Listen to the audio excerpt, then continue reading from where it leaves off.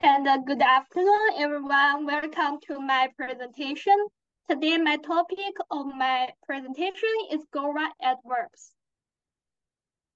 Here is the table of contents. First, I will give you a brief introduction of my topic. Then I'll show you my question design and some findings, uh, namely adverbs, modifying verbs, adjectives, and adverbs in Gorwaa sentential adverbs in Gorwaa, adverbs of place and time in Gorwaa, and different types of adverbs according to things classification in Gorwaa.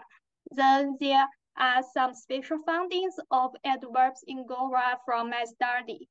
Uh, last parts will be conclusion, references, and abbreviations.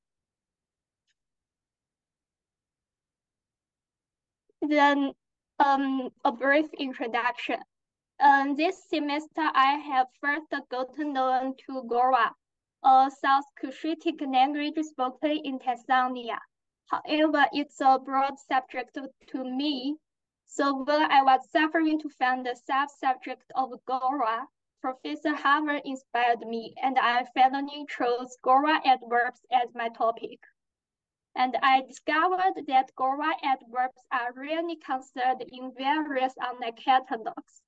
But by chance, I realized that Iraqw speakers could well comprehend many expressions in Gorwaa. And Iraqw is also a South Cushitic language geographically close to the Gorwaa speaking community. And in the book, A Grammar of Iraqw, Maarten Mous summarized the two major types of adverbs in Iraqw, namely verbal adverbs and sentential adverbs. Some adverbs that can modify adjectives and other adverbs were also listed in his book. The Iraqw adverbs mentioned in Mous's examples are rich and easy to understand, so I borrowed some example to formulate my own questions. However, his types of adverbs seem to be too general. Therefore, after referring to Guglielmo Cinque's classifications of adverbs in both adverbs and functional heads across linguistic perspective, I designed more questions. Um, besides, in our linguistic field research method seminar, I know the software ELAN, and I found ELAN is beneficial to transcript recordings, so I used it to transcript a sentence um, in Gorwaa spoken by Professor Hezekiah. Here is my question design. Uh, in the seminar, I designed three sections of questions. Um, the section one was conducted on 7th May. There were um, 25 questions. Those questions focus on adverbs modifying verbs, adjectives, and adverbs, and also sentential adverbs and different types of adverbs according to Cinque's classification. And the section two was conducted on um, 7th June there were 26 languages. Um, those questions focus more on adverbs such as only, very, really, again, nearly, just, likely, and etc. Um, because um, those adverbs I also asked in section one, but I couldn't figure out those adverbs, so I asked more questions on those adverbs and the section three was conducted on 6th July. There were 25 questions. Those questions are focused on two um, new aspects of adverbs, namely adverbs of place and adverbs of time. Because I think those aspects are also interesting and necessary to look at that. And adverbs of place, I asked some questions on here, there, anywhere, and nearby. And adverbs of time um, may include yesterday, tomorrow, later, now, daily, weekly, and monthly. And after um, look at those examples and transcriptions, I found that um, the adverbs in Gorwaa can modify verbs, adjectives, and also other adverbs. And here are some examples. Firstly, adverbs modifying verbs in Gorwaa. For instance, hala means almost or nearly. And halayan means he almost agreed. Here hala modifying ya in this sentence. And hala appear just in front of the verb yan. And gedet ahalabut which means the work is nearly finished. Um, in this sentence, hala means nearly, modifies the verb would means be finished in this sentence. And the adverbs can also modify adjectives in, uh, in Gorwaa. For instance, valo means very. Kwang valo means very good. Here, valo modifies the adjective kwang mm, means good, and the valo appears behind the adjective kwang. And adverbs modifying other adverbs in Gorwaa. Um, also another example, dikalo means maybe. Dikalo abini naha dikalo tomato. Here, this sentence means maybe today, maybe tomorrow. And dikalo means maybe, modifies abini and tomato in this sentence. It appears also in front of other adverbs abini and tomato. And there are many sentential adverbs in Gorwaa. For example, gazi means nakni. Gazi aho alohai means nakni he got you. And gazi appears at the beginning of this sentence. Gazi al tattoo gazi al means nakni she saved herself. In this sentence, gazi appears um, nearly at the end of this sentence.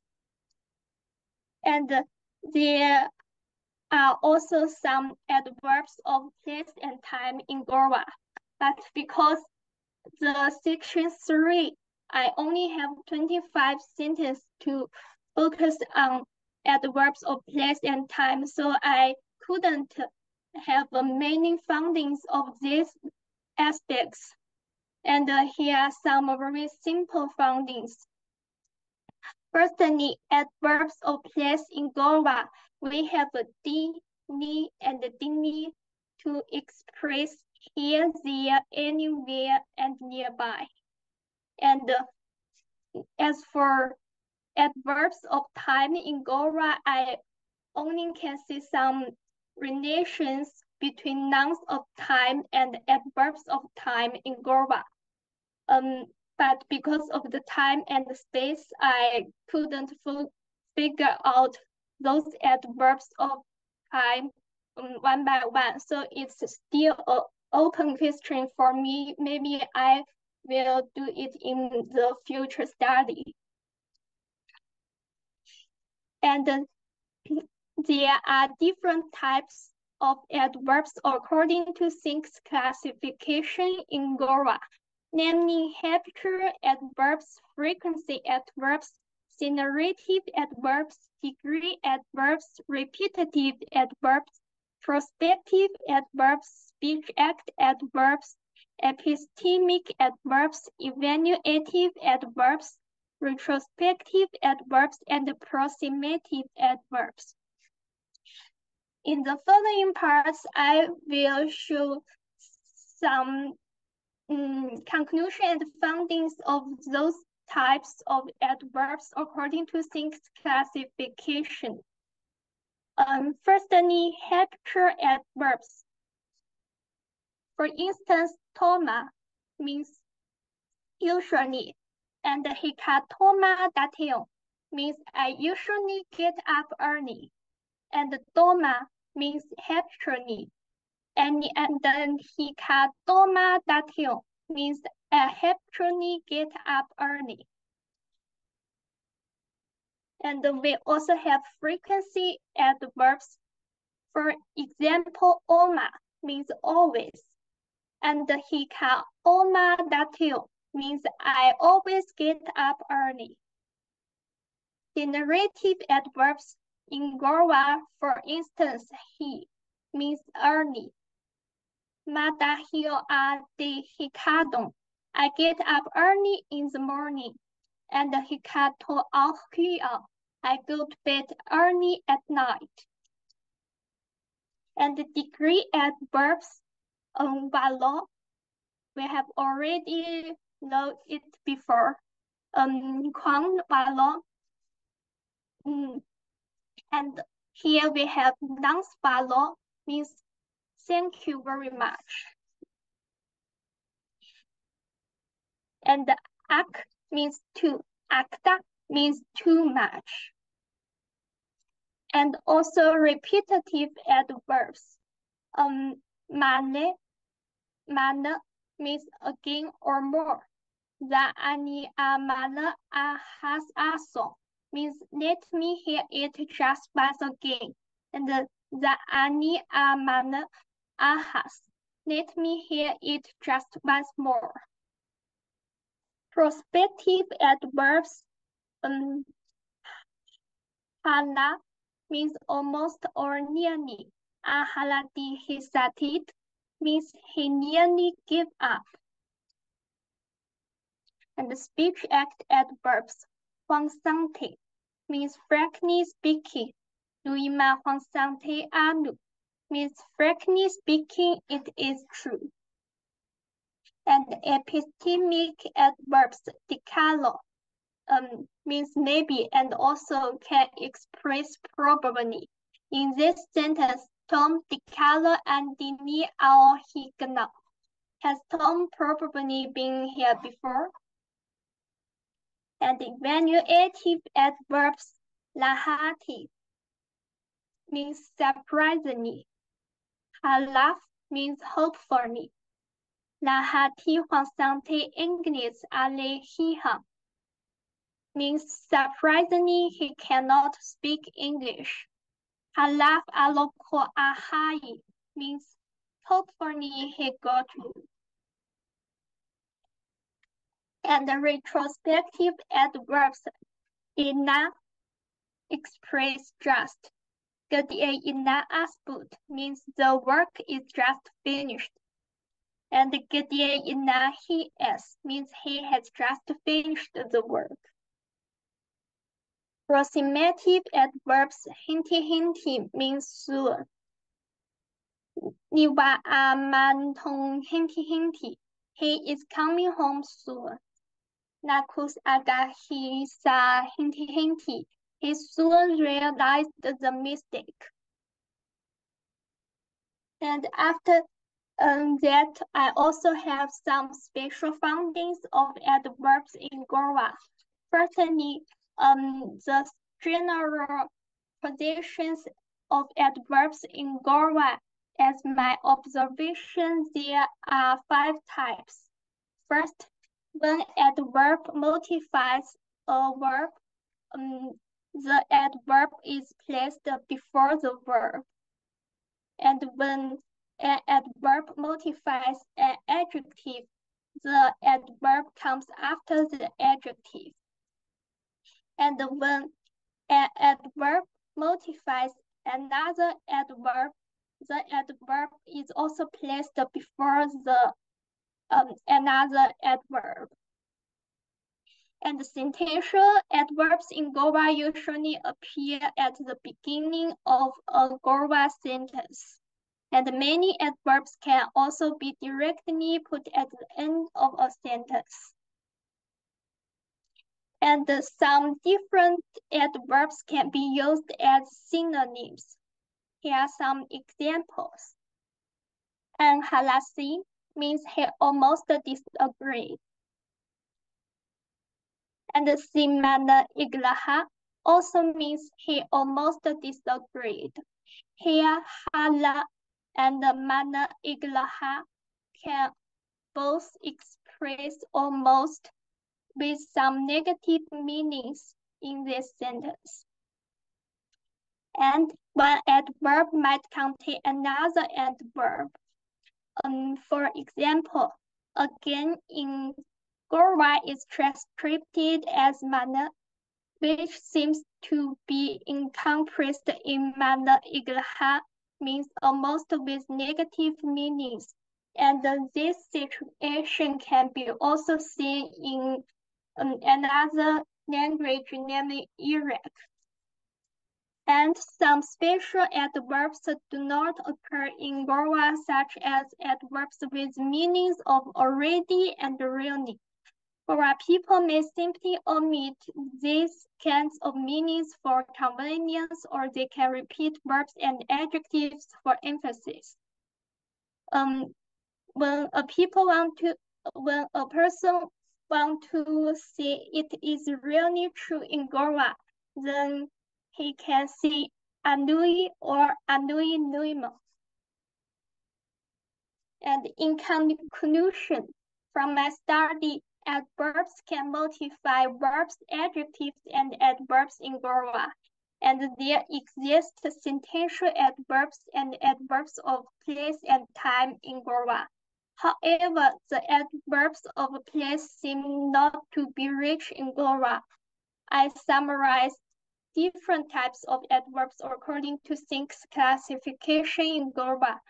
I also give my remarkable findings of adverbs in Gorwaa, namely the general positions of adverbs, the situation of different adverbs as synonyms, the case of one adverb containing another and the occurrences of repeating words instead of using adverbs.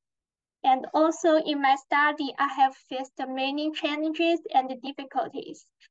Firstly, because Gorwaa is a quite new um, Cushitic language for me, so I cannot translate um, Gorwaa sentences into English word by word, and also because of this reason and the short time to know Gorwaa, I couldn't mark tone in my transcription, but I know there are many. So I try to um, yeah, imitate Hezekiah's pronunciation. And um, because of the small number of questions on place and time at work, so I do not have a lot of specific findings use aspects. Um, yeah, maybe I can make up to those lacks and do more researches um, in my future. Yeah, and here are some references and abbreviations. Thanks for your listening. Thank you very much, uh, Nan. I really appreciate these findings because adverbs were kind of a topic that I never really looked at carefully in Gorwaa in my own research. And some of these forms that you're coming across really make me sort of scratch my head and say I need to check these and uh, and go back and see if I hear them in my recordings. So it's a really it's a really great contribution, and I really appreciate you um, going into it and uh, looking at it. Uh, before I go on anymore, uh, do we have any specific questions from the room or from uh, our colleagues here? Oh, Rael? I have a comment or suggestion. Sure. Yeah, because um, now on slide nine, um, I think. Check. Yeah, uh, you were asking for. Yeah, you were mentioning uh, adverbs of time and you weren't able to find many. So I thought about either my own recordings or some other point in the course if we had any. And so I remember that in the very first elicitation session, which was just a random one, it was on the 26th of April. Uh, some of us asked questions about time. So maybe in that recording, you might find something else.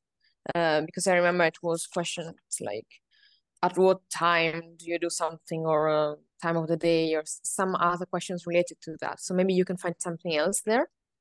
Yes. Um, yeah, and then I already told Nan uh, when we had our um, discussion session, but in my own elicitation sessions, um, I only try to ask once or twice about.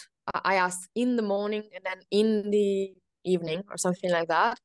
And I remember that Hezekiah simply didn't reply. So he just skipped that part as if it was like a setting or something like it's irrelevant. It, was irrelevant in the end, uh, except for the fact that I was looking for something like over time, right? So to refer to things over time.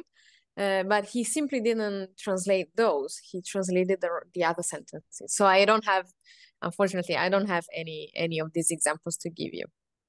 But great presentation, Nan. Thank you. Thank you. Yeah. Um, and speaking of sort of uh, other like looking in other people's recordings i'm sure that rahat probably has some interesting stuff as well because he was working on time and place so if we if we think about ever uh, continuing our research these might be useful little places to look um, i like rael's observation though when you're doing elicitation that's based on one topic the consultant may actually clue into the fact that okay we're looking for this one thing here so everything else is unimportant so they might sort of filter these things out. Do we have any other questions or comments from the room at all? Yes, Prof. Sommer. Yeah, thank you very much. I'm a late comment. It's exciting. um, took into the yeah, grammar and vocabulary and um, adverbs. I never knew that there is such a lot of distinctions to be made. Thank you for also giving me an insight into this. And in another class on medicine linguistics, we talked about um, ideophones as typical categories or typical category for many languages worldwide and in Africa. It's probably also in the Rift Valley region. And I counted two instances in your presentation. Inti Inti, we where a duplicated form turned uh, so I can imagine that there's more to get into, and uh, thank you very much for um, taking this particular topic, which is not necessarily in the old pattern, I would say, grammatical uh, analysis in more narrow sense, but me as a sociologist, I'm always excited if there are things coming up that go beyond structure or, or patterns of grammatical categories. This is not a question, but a comment. Um, and uh, what is an adverb? What is an interjection? What is an ideophone? I mean, these are another three big questions, and uh, very interesting to see that there are hints or first ideas in, in your data. Thank you and it's and it's really true nan i mean like with working with adverbs we sort of tread this line between exactly what you said i mean what is an adverb and then when do you start going into things that are not adverbs and it becomes complex and, and very interesting. So yeah i just wanted to say again before we finish i really appreciate you taking this topic and i think that the contribution is very uh, valuable. So um, well done and uh, thank you again